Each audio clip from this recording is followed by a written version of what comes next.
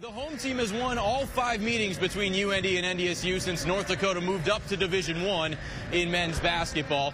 UND fans are hoping that trend continues tonight as the Fighting Hawks look for perhaps a signature win in this young season against the Bison. As year two of the Bubba Schweigert era gets underway, a familiar question still surrounds UND in fall camp. Who will North Dakota's starting quarterback be? And Frigie says she has a lot to prove, coming from a high school with an enrollment of a little more than 50 to playing here in the Betty and representing Class B in her home state. UND made its case to be in the FCS playoffs, a 7-4 overall record, a win against an FBS opponent, and three straight wins to finish the season in Bubba Schweigert's second year at the helm. Seven Frozen Four appearances in the last 11 years, the most of any program during that time span.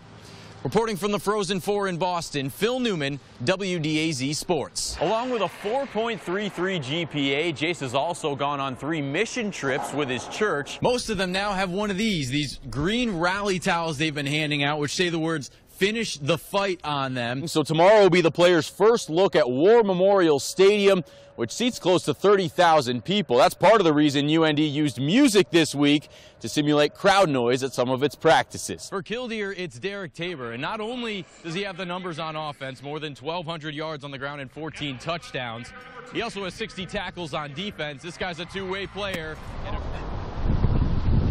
Oh.